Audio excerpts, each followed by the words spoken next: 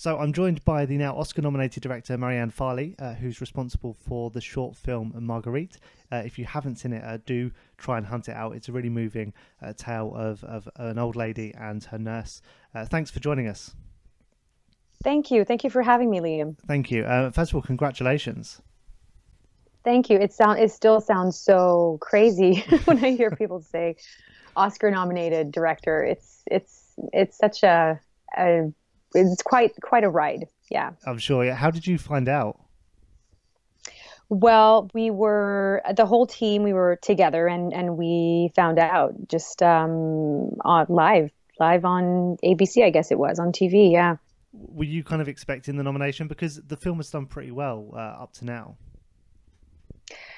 Um, honestly, I try not to. I try not to go on the internet too much, and I, I try not to focus on on that stuff just because I really wanted to put all my energy into you know doing my work and talking about yeah. the film and just you know talking about content and because that's that's the most important thing to me and I know that the rest I have no control over whether whether the you know the the people the academy whether they they decide to support the film or not that I have no control over. So I try to really just, you know, concentrate on what I do have control over, which is, um, which is my work. Sure. I mean, so tell us about the film then. Like, what what inspired you to to tell this story? Well, you know, I get I get asked that a lot, and you know, my the I guess the the quickest um, answer would be just realizing how fortunate I was to have been born in the 1970s and not in the 1920s as a woman. And, um, you know, that was what sparked the idea. Because my grandmother, who, who was born in the 1920s, was not able to um, have, have the same kind of life um, as I had. And um, just because, you know, at that time, you had to get married and have kids and, and work for your husband. That was your job. So there were no alternatives. And you know, s- starting from that premise and then just, you know, elaborating on that and realizing, oh, well, you know, um, LGBTQ rights were absolutely, I mean, Canada, being gay was, was um, criminal until like 1969. So, you know, like they, at least 10,000 people went to jail for loving somebody of the same sex, which, which is something that has always been, mind-boggling to me. It's madness, isn't it? Yeah, yeah. It's just it, it's really it's really sad, and it just I don't know why the idea of Marguerite being this this woman who was never able to, you know, almost on her deathbed realizes that she could have had a different life and she could have she could have been a lot happier, but because of society standards, had to had to pretend to be somebody she wasn't deep down inside. Uh, did you find it easy to get the the backing for this film now because we're, we're kind of in a in a period where um, sort of a focus on LGBTQ uh, rights and, and telling those stories is um, I don't want to say the the the zeitgeist, but there's there's certainly a, a really strong focus on telling those stories now.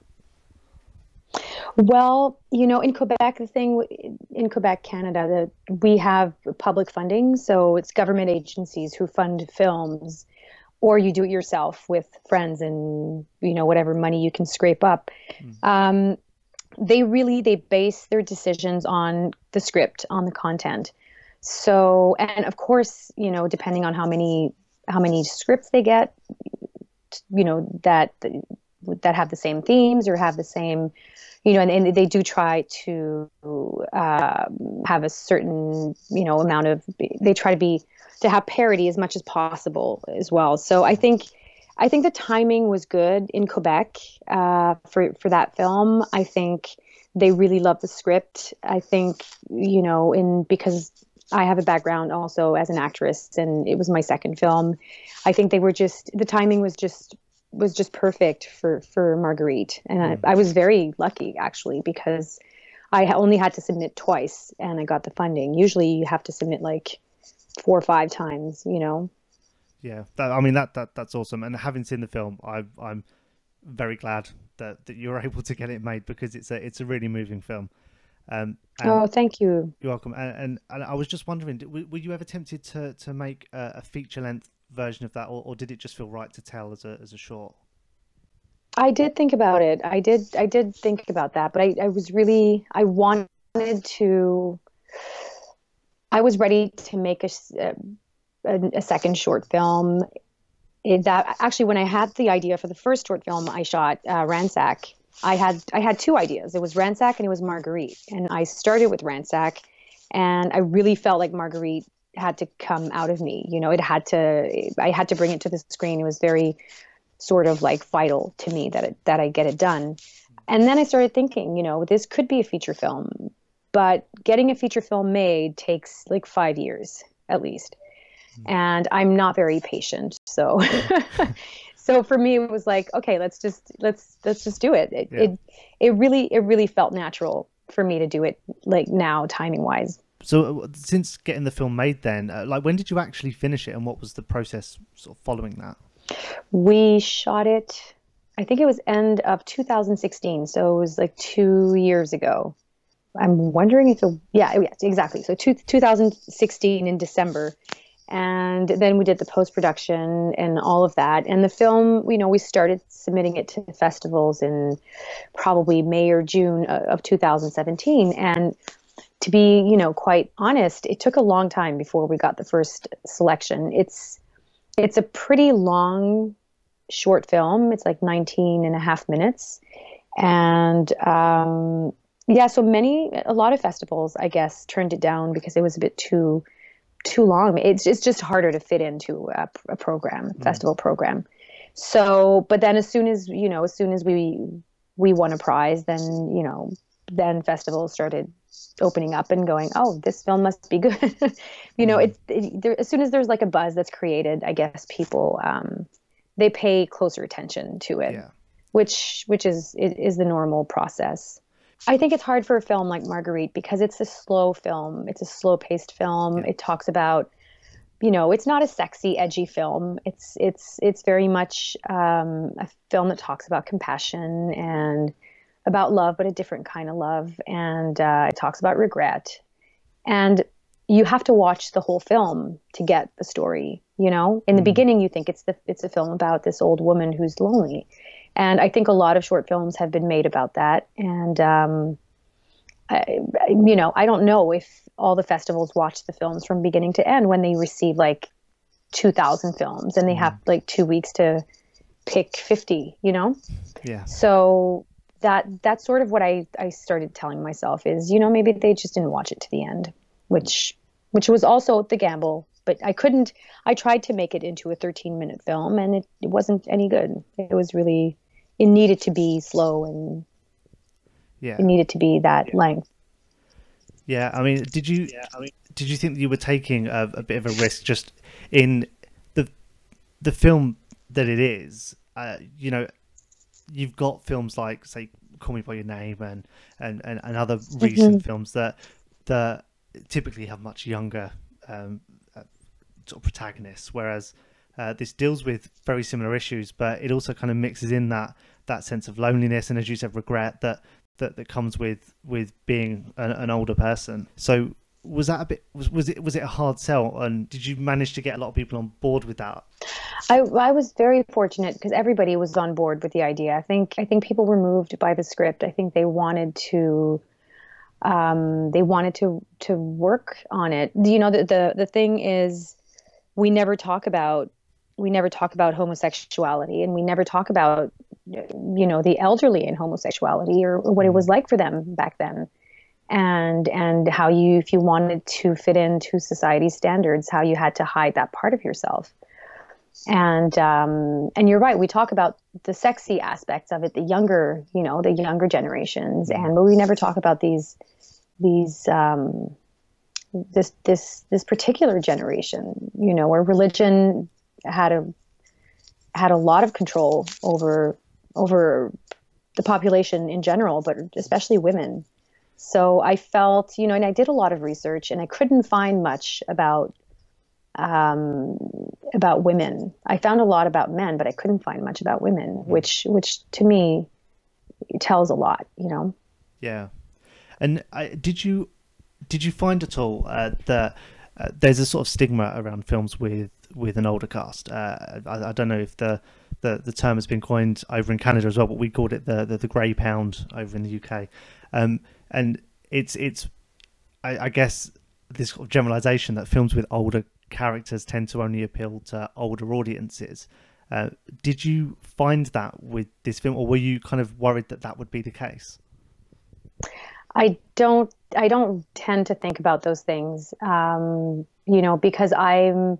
I'm also an actress, and I. I'm tired of of, of only seeing, you know, younger women on screen. I want to see women who have had like fulfilling lives who who don't look like 25 year old models. I want to mm. see women who have who have depth and who have something to say and i want to see women suffering on on the screen. That's that's what i'm passionate about. So and that's what's really touching to me right now is this nomination tells me that i'm not the only one who's touched by this.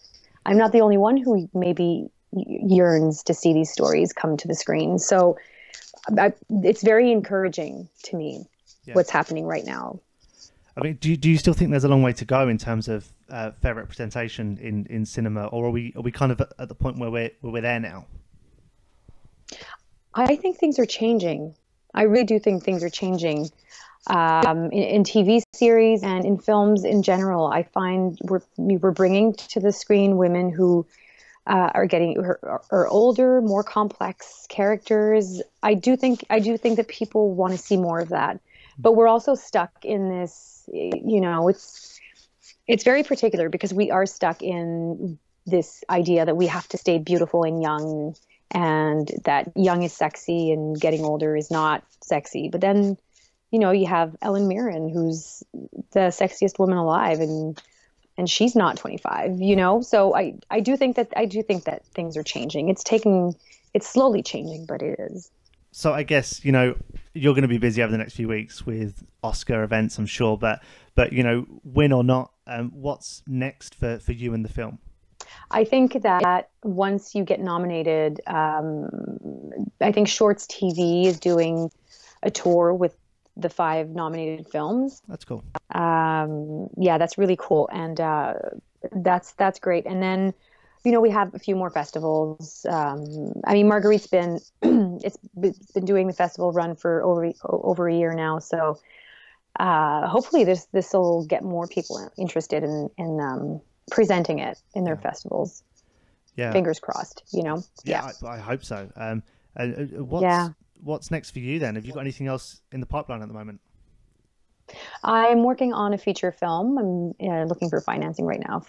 Awesome. For a feature film, I'm I'm been working on for a while, Can and you... I also have another short film that I am working on. Hopefully, shooting both this year, depending on if I I can get financing or not. Sure. But uh, yeah, it's really exciting. This this has um, it's put a lot of uh, yeah, a lot of wood in the fire, as we say here in Quebec. Yeah. I'm honestly I'm open to I just want to do good content. I just you want to work my craft and and work with creative and talented people and and yeah. have and work on incredible content, you know. Mm. That's really important to me. And to try and make a difference in the world yeah. world with my little, you know, my little project here.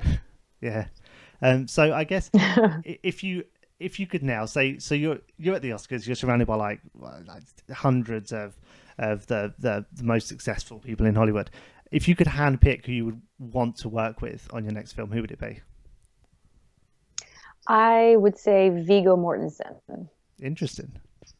Yeah, yeah. It's weird because he's nominated as well, but he's really I've always been a huge fan of his, and I and I've heard from people who's worked with him that he's very um, he's very uh, content oriented. It's really important for him. Uh, so I feel like we would probably have the same kind. Hold on, I'm getting a phone call. Uh, we would probably have the same kind of. Um, yeah, I, I, I think we would we, we would probably work really well together.